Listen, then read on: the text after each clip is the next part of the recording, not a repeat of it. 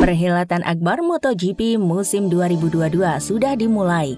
Kali ini giliran Indonesia yang menjadi tuan rumah event internasional tersebut. Gelaran MotoGP kali ini akan digelar di sirkuit Mandalika pada 18 hingga 20 Maret 2022. Balapan kali ini akan terasa spesial bagi banyak pihak, terutama bagi masyarakat Indonesia yang menggilai MotoGP. Karena balapan ini merupakan yang pertama sejak 25 tahun silam. Belum lagi, balapan ini akan dihelat di sirkuit Mandalika yang notabene merupakan sirkuit baru yang memiliki pemandangan terbaik di dunia, yang tentu saja akan membuat bangga ratusan juta warga Indonesia. Di sisi lain, banyak pembalap yang antusias untuk menghadapi balapan kali ini. Bagaimana yang kita ketahui, series Mandalika kali ini merupakan balapan pertama yang dihelat sepanjang sejarah. Tak heran, para rider berlomba-lomba untuk menjadi yang tercepat di series kali ini tidak lain tidak bukan untuk menorehkan nama mereka di buku sejarah sebagai pemenang pertama GP Mandalika. Salah satu pembalap yang paling bersemangat menghadapi race kali ini ialah The Baby Alien Mark Marquez. Bahkan saking percaya dirinya, Mark Marquez pun sempat melontarkan pernyataan yang cukup bikin geleng-geleng kepala hingga membuat Indonesia was-was serta para rider lainnya memanas. Lalu seperti apa pernyataan Mark Marquez tersebut? Namun sebelum ke videonya, yuk klik subscribe-nya dan nyalakan notifikasinya. Jelang race Mandalika, pembalap asal Spanyol Marc Marquez memberikan pernyataan yang cukup mengejutkan. Dalam pernyataannya tersebut, dia menyebut MotoGP Mandalika akan terasa seperti balapan di rumah sendiri. Jawara dunia 8 kali itu terkesan dengan sambutan fans di Indonesia yang membuatnya merasa berada di rumah sendiri. Saking cintanya, bahkan pembalap Repsol Honda tersebut sudah memiliki rencana untuk kembali ke Indonesia pada suatu saat nanti. Pernyataan Mark Marquez ini seolah menjadi alarm bahaya bagi pembalap lain. Dengan banyaknya dukungan fans yang membuatnya serasa bertanding di kandang sendiri, bisa saja membuat semangat Mark Marquez semakin membara dan membuat Mark Marquez menjadi pemenang di race kali ini dan membuat pembalap lain harus gigi jari menerima kekalahan.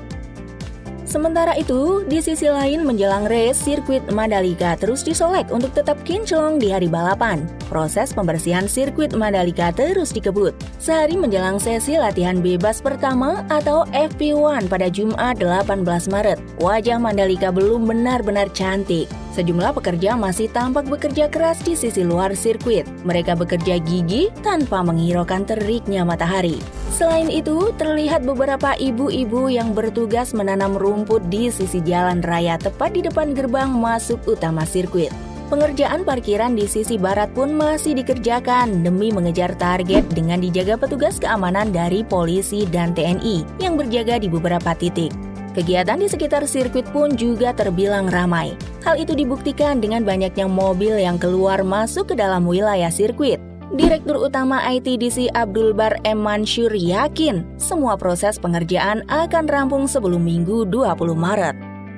Demi mensukseskan gelaran MotoGP Mandalika 2022, pihak penyelenggara pun juga turut menyediakan fasilitas yang cukup lengkap. Selain teknologi memodifikasi cuaca, ambulans helikopter juga disiapkan untuk antisipasi kecelakaan dan evakuasi medis melalui udara. Dua unit helikopter ambulans milik Basarnas Kota Mataram, Lombok, HR-3606 dan HR-3604 dipastikan tiba di helipad Medical Center Sirkuit Mandalika pada Kamis 17 Maret 2022 siang. Dengan adanya fasilitas ini, nantinya pembalap yang mengalami kecelakaan tersebut akan dievakuasi dari sirkuit menggunakan ambulans udara. Selain itu, pihak penyelenggara juga mementingkan keamanan penonton dengan mendatangkan helikopter Basarnas dengan ratusan personil. Andai terjadi kecelakaan sewaktu-waktu. Mantap sekali ya! Dengan standar keamanan yang cukup tinggi ini, diharapkan bisa membuat event ini berjalan dengan lancar dan tanpa hambatan. Sementara itu, bagi pecinta MotoGP yang ingin menyaksikan secara langsung jalannya balapan, bisa membeli tiket dengan harga yang cukup bervariasi. Penonton bisa mendapatkan harga termurah untuk tiket harian di hari pertama, Jumat 18 Maret, mulai dari Rp115.000 hingga Rp431.250. Kemudian tiket hari kedua Sabtu 19 Maret dibanderol Rp287.500 sampai Rp1.150.000. Sementara di hari balapan atau race day pada hari Minggu 20 Maret berkisar Rp575.000 hingga Rp1.725.000. Bagi penonton yang ingin datang di Sabtu dan Minggu, terdapat tiket dengan harga Rp805.000 hingga Rp2.587.000. Lalu, untuk kategori VIP Hospitality Suite Deluxe Class disediakan tiket terusan 3 hari atau 3 days pass yang dijual mulai dari 10 juta hingga 15 juta. So, kalian tinggal pilih mana yang paling cocok dengan kantong kalian. Ada harga, ada kualitas, mau yang murah dengan fasilitas biasa, atau yang mahal namun dengan fasilitas kelas atas. Semoga saja perhelatan MotoGP Mandalika kali ini bisa berjalan dengan lancar dan aman. Kira-kira bagaimana menurut kalian guys? Jangan lupa tulis di kolom komentar and see you next video. Bye-bye.